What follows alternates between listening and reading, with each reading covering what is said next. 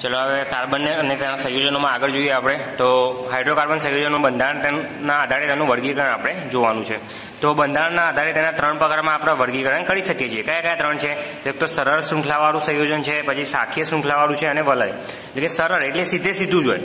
બીજું શાખી એટલે શાખામાં આપેલું હોય અને ત્રીજું વલય એટલે ચક્રીય રચના. યાદ રાખો, હાઇડ્રોકાર્બન સંયોજનોનું કાર્બન પરમાણુની ગોઠવણીના આધારે ત્રણ પ્રકારમાં વર્ગીકરણ થાય છે.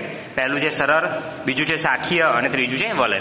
તો સરળ શૃંખલા ધરાવતા સંયોજનો. તો જે હાઇડ્રોકાર્બન સંયોજનમાં બધા જ કાર્બન પરમાણુ એક સીધી હરોળમાં હોય. કેવા હોય?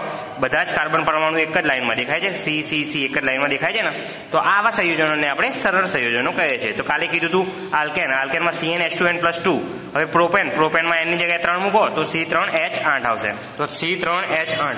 તો પહેલા સી ત્રણમાં ત્રણ સી મૂકી દો. એક, બે, ત્રણ. ત્રણ સી મૂકી દીધા. હવે જો વેલેન્સીમાં કઈ રીતે કરવાનું? સંયોજકતામાં ચાર પૂરી કરવાની. તો એ એક તો બોન્ડ છે જ, તો અહીંયા ત્રણ એચ આવે. કેટલા આવે? ત્રણ એચ આવે. પછી આ સી માટે અહીંયા પણ એક છે, અહીંયા પણ એક છે. તો અહીંયા બે આવે. ઉપર એક આવે અને નીચે જો જો એક સી જોડે ચાર થઈ ગયા ને, હવે આ સી જોડે એક જ હતો. તો અહીંયા ઉપર એક લઈ લો, નીચે એક લઈ લો અને જમણી બાજુ એક. હવે ચલો આને ભેગા કરો તો કેટલા થઈ ગયા? કાર્બન ત્રણ.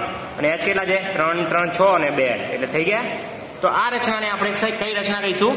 આ રચનાને સરળ શૃંખલા સંયોજનો કહીએ છીએ. તો કઈ રીતે બનાવ્યું આપણે? કે સંયોજકતા ચાર લાવવાની. કેટલી લાવવાની? ચાર લાવવાની. તો ચાર સંયોજકતા લાવો તો આ રીતે બની જશે તમારું. પછી આપણે વાત કરીએ.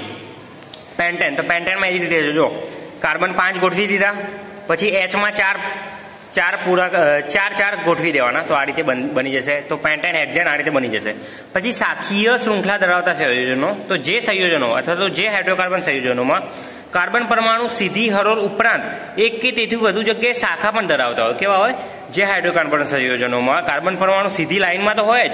એના સિવાય એક કે તેથી વધુ જગ્યાએ શાખા પણ ધરાવતા હોય. તો આવા સંયોજનોને આપણે શાખીય શૃંખલા ધરાવતા